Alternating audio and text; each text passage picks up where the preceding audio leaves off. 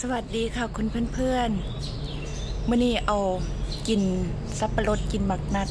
ก็เลยเอาบักนัดมามาปลูกจ้า อันนี้พวกเชื่อยาเด้อ อันนี้ต้นบักฮงมาเบิงบักนัดหอยคุดดินฝังหอยเอาลงจังใด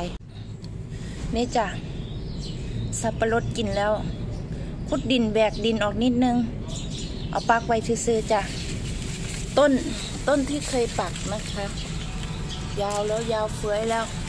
แต่ไม่ได้ออกลูกอะไรนะคะ เพราะว่าไม่ได้บำรุงอะไรเลยปลูกทิ้งๆไว้ เอาแผ่นอิฐมาทับมันอีก แล้วมันจะเกิดไหมเนี่ย อันนี้เป็นผักชยานะคะที่ปลูกเนี่ยค่ะ เด็ดกินประจำอันนี้ต้นใบชะพู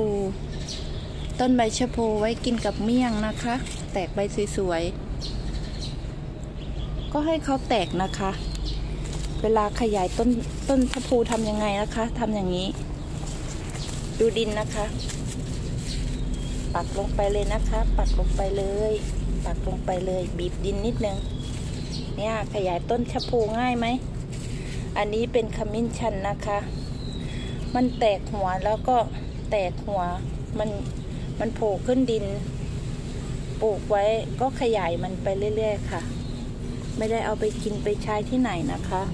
อันนี้ถ้าเราจะขยายต้นชะพูนะคะ เนี่ยค่ะก็เด็ดแบบเนี้ย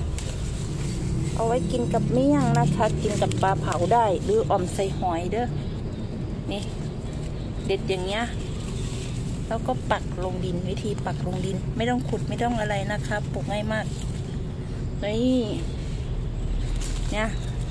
มันเป็นข้อข้อเป็นป้องป้องอย่างเงี้ย ขยายนะคะ เนี่ยปักลงดิน แบบเนี้ย คุณก็จะมีต้นชะพูเยอะแยะมากมายเลย